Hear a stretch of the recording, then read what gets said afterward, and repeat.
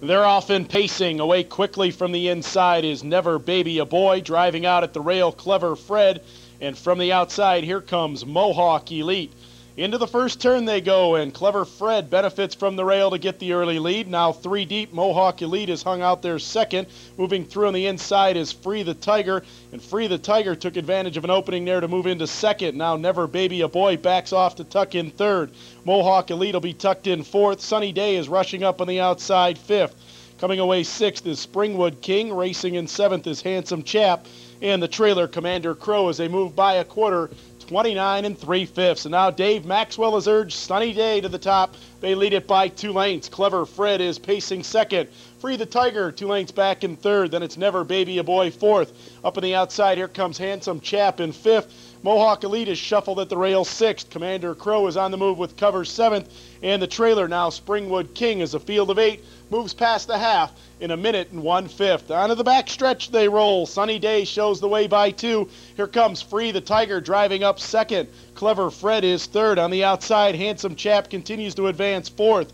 Never Baby a Boy shuffled fifth.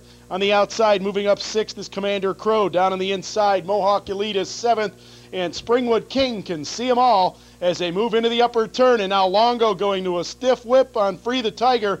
Free the Tiger's up on the outside to put a neck in front. Three quarters in 129 and 1. They move around the turn. Sunny Day battles back at the rail, and Sunny Day reclaims the lead a length. Free the Tiger hanging on the outside second. Clever Fred is off stride now at the top of the turn. They turn for home. Sunny Day leads it by three. It is Free the Tiger second. Clever Fred still off stride at the rail third. Moving up on the outside, Never Baby a Boy fourth. Through the stretch, Sunny Day leads it by four. Never Baby a Boy moves up second. Commander Crow a late move third, but it is all Sunny Day by four.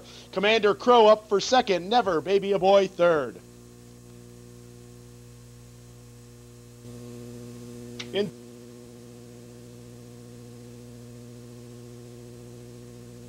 In the photograph, number seven, Commander Crow was second. Number three, Never Baby a Boy, third. And number four, Springwood King, fourth. Now in the winner's circle is number nine, Sunny Day. Sunny Day is a three-year-old gelding by Penetrate out of the Royal King mare Brownie King.